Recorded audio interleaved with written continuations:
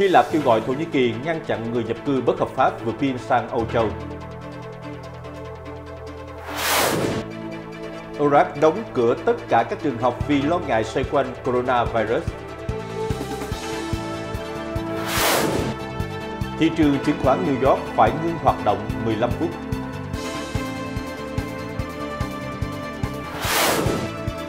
Việt Nam công bố vụ nhiễm COVID-19 thứ 31.